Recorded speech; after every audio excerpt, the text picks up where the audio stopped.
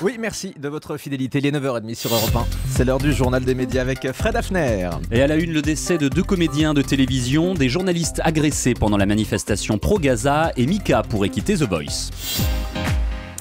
On commence avec le décès de Thierry Redler qu'on a appris euh, ce week-end.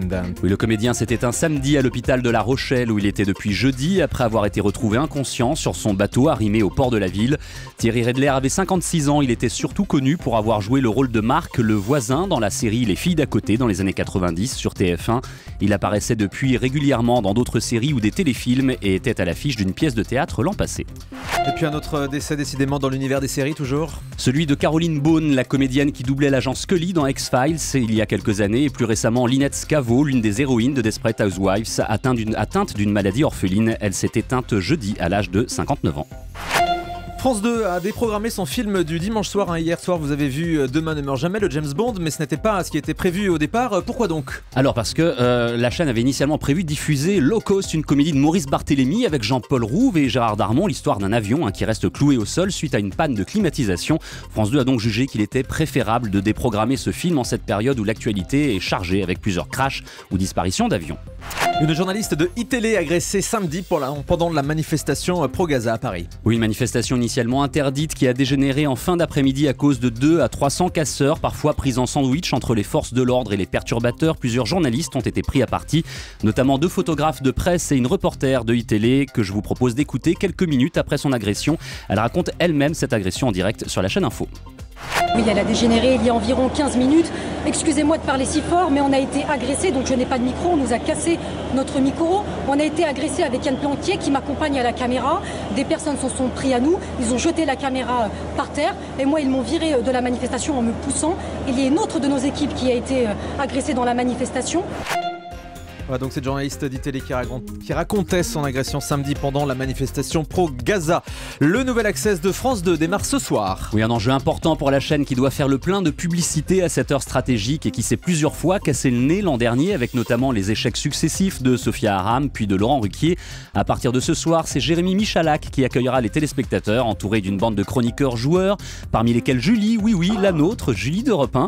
Très joueuse Julie. Très joueuse, mais aussi Philippe Gildas, Patrice Laffont ou encore l'ancien vainqueur de Nouvelle Star Christophe Willem.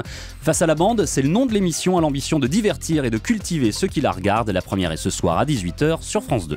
Un petit peu caché en plein milieu de l'été. En plus, ça commence seulement pour 15 jours puisque ça va s'arrêter en raison des événements sportifs qui, auront lieu euh, au mois d'août. C'est assez bizarre hein, de commencer cette émission en plein cœur de l'été. France 2 a d'ailleurs décidé de ne faire aucune promotion. C'est pour ça que euh, personne n'était disponible pour euh, nous parler du lancement de Face à la bande ce soir sur France 2. Assez étonnant donc comme démarrage, on souhaite bonne chance à Jérémy Michalak. Mathieu Madénian, déprogrammé in extremis d'un festival. Oui, l'humoriste bien connu des auditeurs d'Europe 1 et des téléspectateurs de Michel Drucker était à l'affiche du prochain festival du rire de Mais son nom vient d'être retiré par le maire de la ville suite à une demande d'élus Front National qui ont rappelé que Madénian avait tenu des propos insultants à l'égard de leurs électeurs il y a trois ans sur un plateau de télé. Mathieu Madénian avait été condamné en 2013 à verser 1000 euros d'amende pour injure publique et 1000 euros de dommages et intérêts au FN. Il imaginait sans doute que l'affaire était réglée. Dans une autre affaire qui n'a rien à voir, une boîte de prod reçoit un soutien de poids. Oui, ALP, la société qui produit le jeu de télé-réalité Colanta, a été condamnée au début du mois pour travail dissimulé et atteinte aux libertés individuelles. Un jugement contesté par Moundir, célèbre candidat de plusieurs émissions de télé-réalité, connu pour ses coups de gueule et ses coups de sang. Dans une interview au magazine public, Moundir donc juge déplorable qu'un ancien participant ait porté plainte et obtenu gain de cause. Moundir qui a de bonnes raisons de défendre la prod puisqu'il participe à la prochaine saison de Colanta qui devrait être diffusée à la rentrée sur TF1.